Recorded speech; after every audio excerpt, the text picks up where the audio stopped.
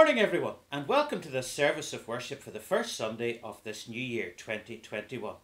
I trust that you all had a very safe and happy Christmas.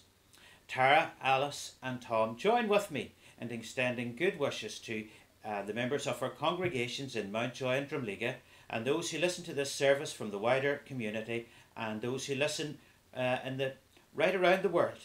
Every Sunday, we have several hundred people who worship with us online. So, wherever you are and whoever you are, may you know the Lord's blessing and presence. I'm conducting this service from my study here at Mountjoy Manse, and as I look out, the field in front of the manse is uh, covered in snow, the hills in the distance are snow capped. We are indeed in a bleak midwinter on this New Year's Eve when I'm conducting this service. But I trust that as you uh, enjoy this service from the comfort of your home, that you will know the Lord's presence and blessing as we worship our great God together. For our call to worship today, we turn to the Old Testament prophet Nahum, chapter 1 and verse 7. And there we read these words The Lord is good, a refuge in time of trouble. He cares for those who trust him. We've just celebrated Christmas, where we've been reminded of the Lord's goodness to us in sending his Son to be our Saviour. In the midst of this pandemic, we know that the Lord is a refuge in our time of trouble and that he does indeed care for us. So, with that in mind, let us worship our great God as we sing our opening hymn, The Splendour of the King.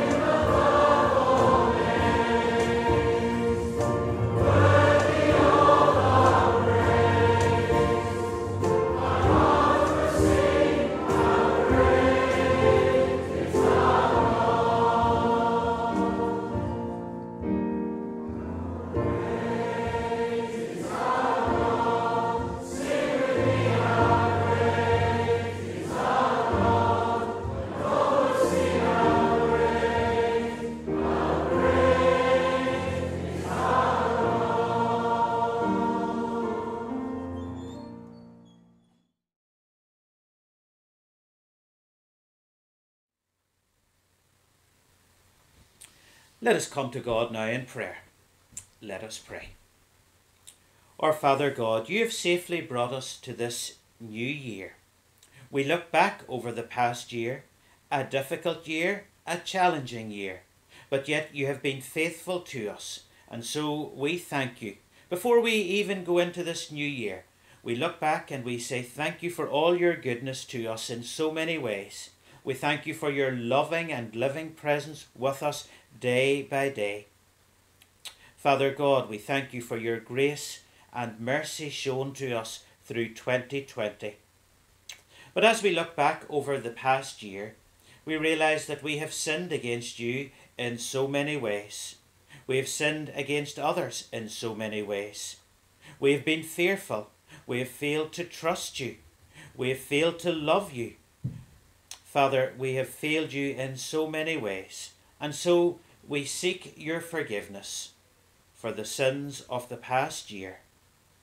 Set us free through Jesus, whose birth we have celebrated and whose death sets us free. Father, cleanse our hearts and minds from all that is sinful and renew a new trust in you as we go into this new year. Send your Holy Spirit to help us to live for you every day. We indeed thank you, like the prophet Nahum, that you indeed are good. We thank you for your goodness to us in sending Jesus to be our Saviour, the one who would die to take away all our sin. And so today we thank you for Jesus. We thank you that you're a refuge in times of trouble, and how we need that refuge in these days of pandemic, when there's so much fear and uncertainty and so we come to you, and may we know your loving and living presence with us. We thank you that you are indeed a refuge and a help in time of trouble. And we thank you that you care for us, that you love us, you know all about us. And so, with that in mind, we put our confidence in you for this new year. And on this first Sunday of 2021, we thank you for your goodness. We thank you that you're a refuge and we thank you that you care for us. And we pray in and through Jesus Christ, our Lord and Saviour. Amen. We're going to turn now and read uh, Nahum chapter 1. But before we do, just a little bit of uh, background by way of introduction. Nahum was a prophet in Judah, and Judah was surrounded by the great Assyrian uh, superpower. They were the great power of their day and they struck fear into all the other countries around about them. Uh, they were uh, powerful in their military campaigns. It is estimated that uh, their weaponry uh, occupied 46 acres in Assyria. Uh, they invaded every other country. They were a cruel and barbaric regime. Their king was an evil king. Uh, they murdered people as they invaded countries, and everyone lived in fear of the Assyrians. And so Nahum uh, spoke a word of uh, rebuke and also a word of uh, challenge and comfort uh, to these people that they would repent. So we read Nahum chapter 1. This is God's word. An oracle concerning Nineveh. The book of the vision of Nahum the Elkoshite. The Lord is a jealous and avenging God. The Lord takes vengeance and is filled with wrath.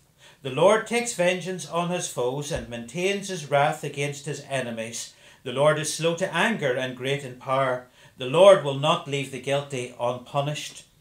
His way is in the whirlwind and the storm. The clouds are the dust of his feet. He rebukes the sea and it dries up, and he makes all the rivers run dry. Bashan and Carmel wither, and the blossoms of Lebanon fade. The mountains quake before him, and the hills melt away. The earth trembles at his presence, the world and all who live in it. Who can withstand his indignation? Who can endure his fierce anger? His wrath is poured out like fire, the rocks are shattered before him. The Lord is good, a refuge in times of trouble. He cares for those who trust him. But with an overwhelming flood, he will make an end of Nineveh.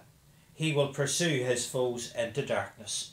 And we end there at verse 8, asking God's blessing upon the reading of his holy word. Amen. Boys and girls, I want to speak to you for a few moments. In these days when we're on holidays, and I know that you have a few more days off school, which is great, and you're wondering, what day is it? Is it Sunday or is it Monday or is it Friday? And so I'm sure you have a calendar in your home. I have one here uh, that Morris Surplus gave me, and you can see a picture of the, the sheep and the lambs, and then all the different uh, months, January right through. And just to even things up, uh, here's one that I also got from one of the elders in Mountjoy, David Garrett. And you can see uh, here, and in this one, again, there's uh, some lambs there with their uh, mother. And our little Bible verse uh, from Nahum, who lived a long time ago, uh, would say that the Lord is good. And it's good to remember that the Lord is good. We've just celebrated his goodness to us uh, in sending Jesus to be our Saviour and friend and he's a refuge in time of trouble. Just when these little, uh, and when I was looking at these two calendars, uh, this verse came to mind. When these little lambs get into bother, they keep going back to their mother, and their mother would protect them and watch over them and care for them. And the same, I'm sure, on this calendar, just to even things up between Mountjoy and Drumlegagh.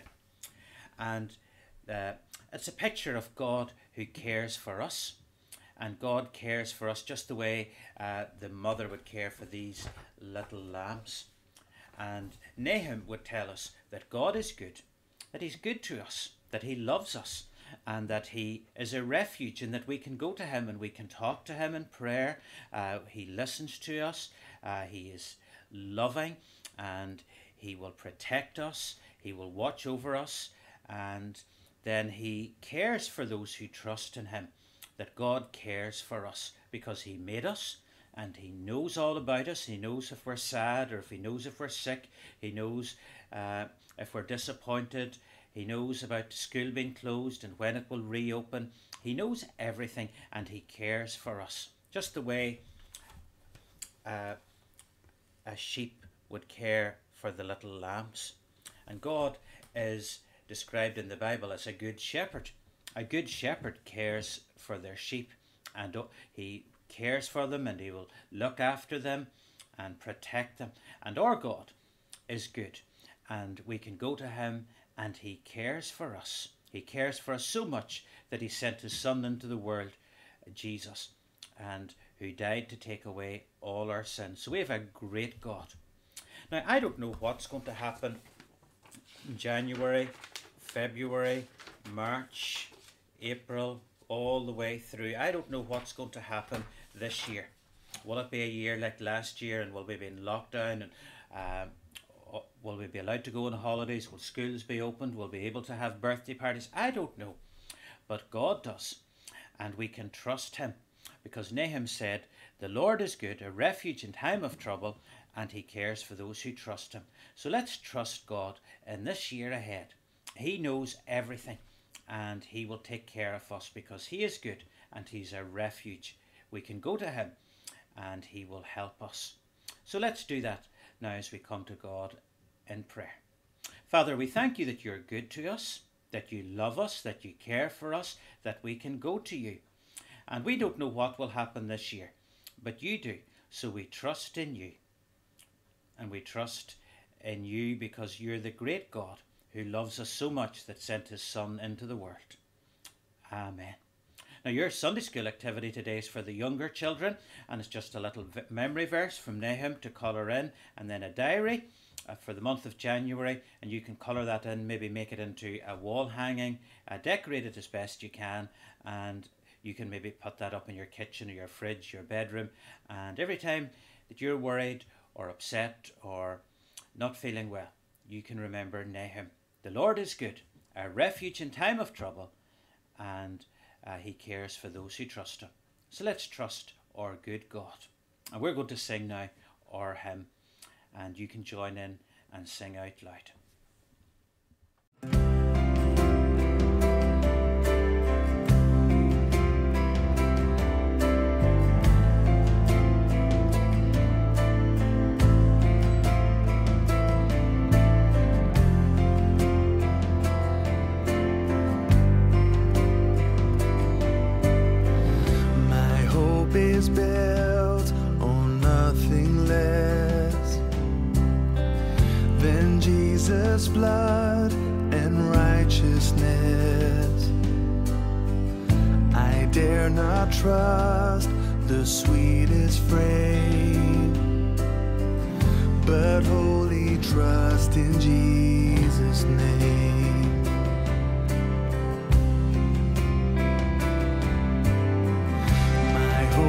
Is built on nothing less than Jesus' blood and righteousness.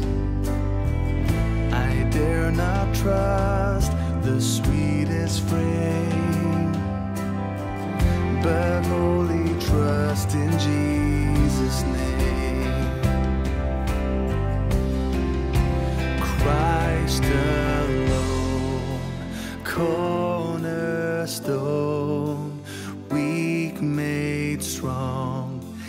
Savior's love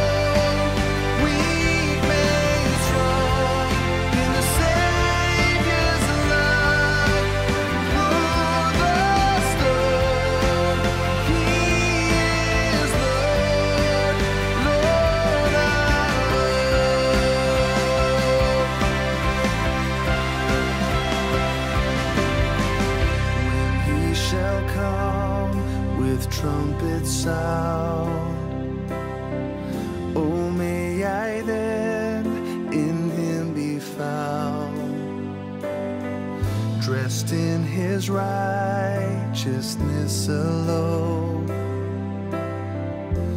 faultless stand before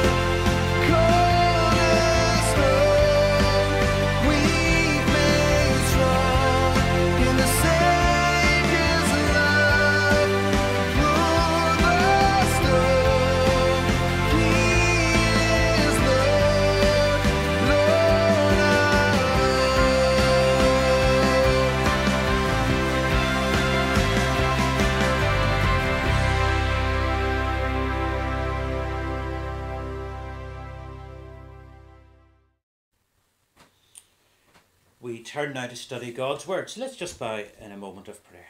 Father, we pray now that you would still our hearts, that if we're listening to this service at home, that we would uh, just remove all distractions, maybe put the phones away and just really concentrate now on your Word. And that behind a human voice, we would hear you speaking into our lives uh, with a message of encouragement and hope, a message of maybe to challenge us uh, on this Sunday, first Sunday of this new year. May your Holy Spirit help us now. Amen. Every new year, I would take a verse, and it's our verse for the year ahead. And so today, our verse for the year ahead is Nahum chapter 1 and verse 7. And last week, I was listening to a service on uh, the internet, and they made reference to this verse. Now, I'm not someone who underlines uh, verses in my Bible, but as I followed along, I turned to Nahum chapter 1, and there in my Bible, uh, I don't know if you can see it, uh, verse 7 up here, but for some reason, um, I had that verse underlined. I, I'm not one for underlining verses, but this is the only verse in my Bible that is underlined. And I've never preached on it before. And it's tucked away in the middle of this strange book, Nahum, a minor prophet, who spoke about God's anger and wrath uh, uh, coming upon uh, Assyria and Nineveh. And so we want to look at this verse uh, today, and may it bring you a word of hope, comfort, and even challenge uh, for the year ahead. So it begins The Lord is good, a refuge in time of trouble. He cares for those who trust him. The first thing we need to say this verse is talking about the Lord. It starts with the Lord, the great God, the sovereign Lord. And in the preceding verses, it is Nahum has told us so much about the Lord. He is a jealous God. God does not have want any rivals, and we know that from the first commandment that the God or God is jealous, and He does not want us to have other gods. He is jealous, and He will not put up with any rivalry. He is filled with wrath, we're told in verse two. He is slow to anger, we're told in verse 3. And then he's great in power, we're told in verses 4 and 5 and 6. He's great in power over creation and over people. Our God is a great God. Sometimes people refer to God and they would say, the man upstairs. Our God is no man upstairs. And it's an insult to him to refer to God in that way. And what does Nahum tell us in this verse? Well, there's three things today that we want to unpack. First of all, the Lord is good. That is the character of God. God's character is good, and we th- see that throughout the pages of Scripture. He was good when He created this world. He was good when He came to rescue the people from slavery in Egypt. He was good when He uh, came to the rescue of His people time and time again against uh, their foes. And we've just celebrated Christmas, where we've once again been reminded of God's goodness to us in sending His Son, the Lord Jesus, to be our Saviour. God's goodness is displayed to us in Jesus, who died on the cross of Calvary to take away your sin and my sin. Because if Jesus hadn't been born and didn't live and die, we would still be in our sin and we would face a lost eternity. But God is good in providing His Son to be our Saviour. He is the one who came to rescue us, to take our sin and shame upon Himself as He died on that cross. And so we need the Lord's goodness to experience His salvation. Our God has been good to us in sending Jesus, His only Son, the one who would die to take away all our sin and shame. And so today we need to experience the Lord's goodness. He is good, and He will take away your sin. He will take away my sin as we trust in Him and in His Son, the Lord Jesus. And so on this first Sunday of 2021, may each one of us trust in God's goodness through His Son, the Lord Jesus, to take away our sin. This is a great opportunity on this first Sunday to trust in the Lord and to experience His goodness firsthand as we trust in Jesus and ask Jesus to forgive our sin and to come into our hearts and to live with us. God is good. May each one of us know the Lord's goodness today. The Lord is good, and then, secondly, the Lord is a refuge in time of trouble. Or God is a refuge. This is a great biblical picture Many of the, uh, the great cities in the Bible had places of refuge where people could go to uh, to escape uh, and to find a place of safety and refuge, a safe place. And here we have a picture of God who is our refuge. He is that safe place. We can go to Him and find protection in Him. The old hymn puts it so well Rock of ages cleft for me, hide me now, my refuge be. That God can be our refuge in time of trouble. We are living through some very difficult times. The past year has been challenging, and with so much uncertain in the year that lies before us with COVID 19, we need to come to God and find a refuge in Him. Nahum lived in Judah and he was surrounded by this great country, this superpower, uh, Assyria, and their capital city, Nineveh.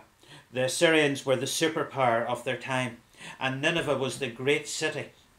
And they put fear into all the other countries around them.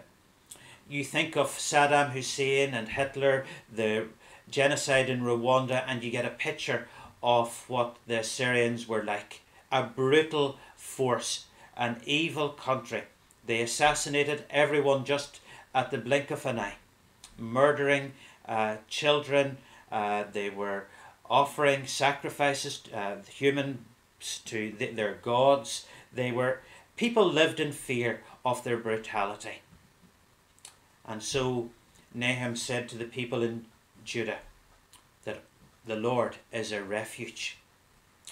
And so may each one of us know that the Lord is indeed a refuge and that we can find a place of shelter, a place of peace with the Lord. And on this first Sunday of 2021, we're surrounded not by a superpower like Assyria, but we're surrounded by COVID 19. And let's remember that our God is a refuge in times of trouble. So let's look to Him. Let's come to Him and find shelter and protection and find His presence, find shelter in His living presence. But as 2021 beckons, I know that many of you have troubles to face. You have your own health worries. You have maybe worries about the health of a loved one in your family. You're, there's uncertainty about your career, your study, your employment, your finances. There's troubles in so many areas of our lives. But Nahum would say that the Lord is a refuge in our time of trouble. So let's remember that the Lord is a refuge in our time of trouble, that He is there for us.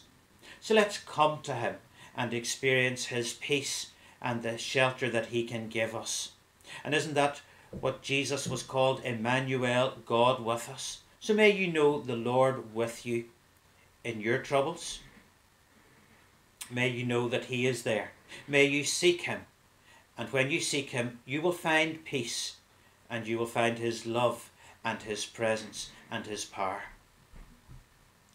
Judah was surrounded by this superpower and it struck fear into the people in Judah. I wonder what your biggest fear is. For many of us, maybe it is death. And what will happen after we die?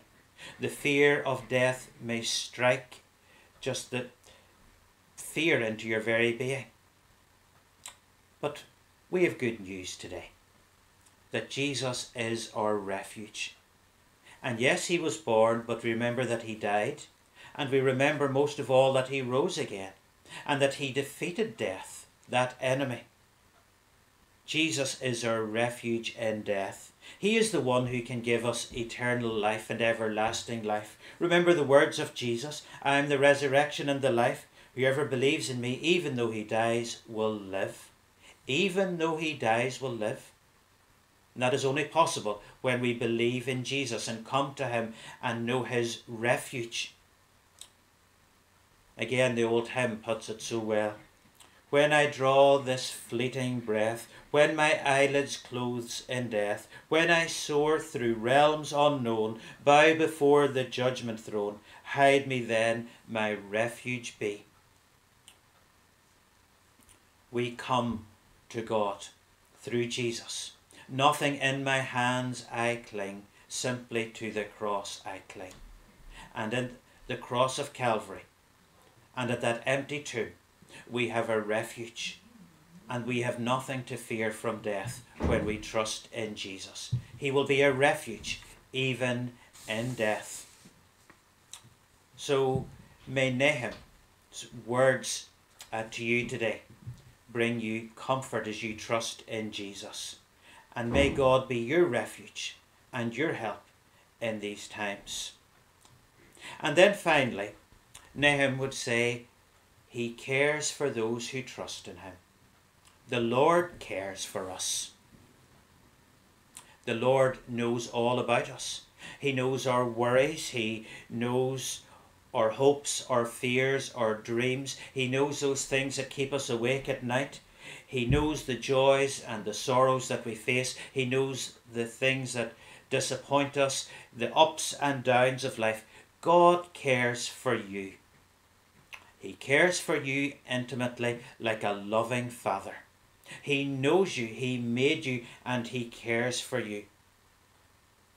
And what did Nahum say? He cares for those who trust Him. So we need to trust Him. And what better?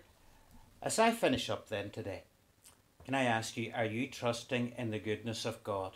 The goodness of God that sent His Son, the Lord Jesus, into the world to die for you.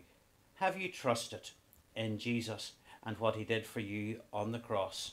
And if not, no better time than this Sunday, the first Sunday in 2021, to trust in God's goodness for you in and through Jesus, who did so much as he died to take away all your sin. Are you trusting in God to be your refuge? Uh, no one knows what this year will bring, uh, but when we trust in Jesus, we have one who is there for us, one who will shelter us, one who we can turn to, one who is tender and gentle with us. So let's trust in God's care for us, knowing that He loves us deeply. So let's all in Mountjoy and Drumlegagh and further afield make this the day when we can say, Yes, I trust in the Lord, because He is good. He is a refuge in time of trouble, and He cares for me. Amen.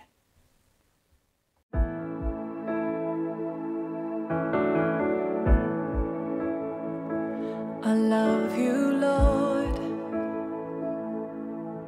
Oh, your mercy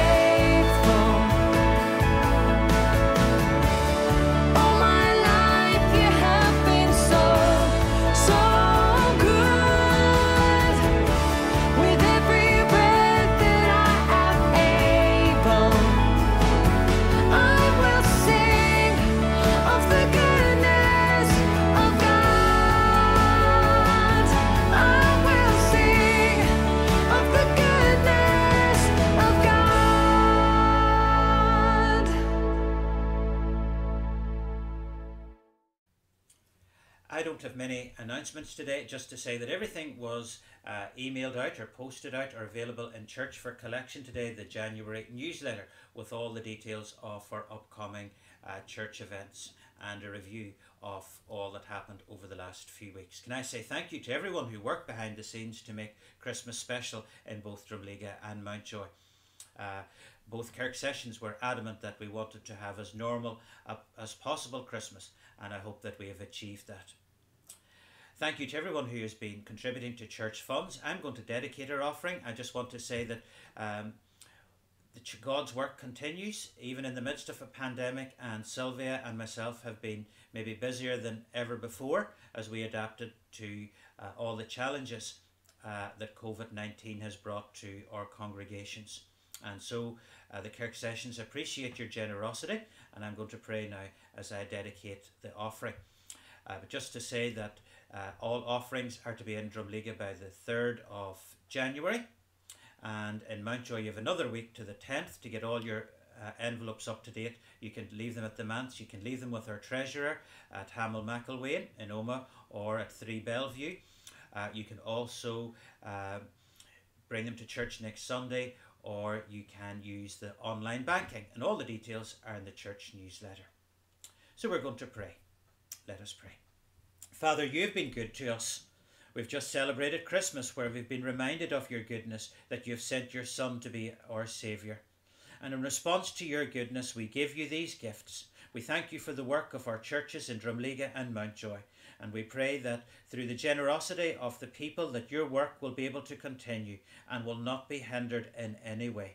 So we look to you and we pray for your blessing upon uh, all aspects of our lives, but in particular our finances, that we would be able to give generously and cheerfully to your work, so that others will come to know of your goodness in and through Jesus Christ. As we continue in prayer, we pray for those who are going through a time of trouble.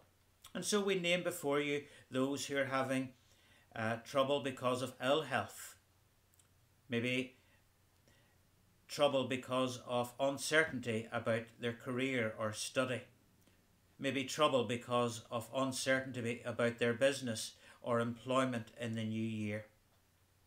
Lord, we thank you that you care for us. And so we pray that these people would find a refuge in you, one who will understand, one who will help them, one who will strengthen and comfort them. Father, we remember those who have lost their way in life, those who have turned their back on you and know nothing, who have just ignored your word and have shunned your love. And we pray by your Spirit that you would bring them back so we name them before you. Father, we pray that you would save them, that they would know your love, your goodness, they would know that in you they have a friend and a refuge. Father, we remember our country as we adapt to life outside the European Union. Grant wisdom to our government and to the other EU states in this time of transition. We pray for stability across Europe and help us here in the United Kingdom to be good neighbours to others around us in other nations. Help your gospel to flourish in our own land and across Europe, and that our continent would once again be a place where your name is revered and honoured. Father, we pray for those who are working to treat people with COVID and other illnesses, give them strength. We look to you and pray that this disease would be brought under control. We don't look to politicians or to a vaccine or to scientists. We look to you, the living God, the most powerful one, the Almighty One, the Lord. So may you bring it under control. And we ask all our prayers in and through Jesus Christ, thanking you that you are good to us, that you care for us, and that you're a refuge in our time of trouble. Amen. Well, that brings our service of worship to a close. I trust that you've known the Lord's blessing as we have turned to Nahum. And may you know the Lord's goodness in the year ahead. May you know His protection. And may you know that the Lord cares for you. And may each one of us trust in our great God. So let us pray. Father, we thank you for a time of worship. And may we indeed all know your blessing, the blessing of Father, Son, and Holy Spirit with us this day and in the year ahead. Amen.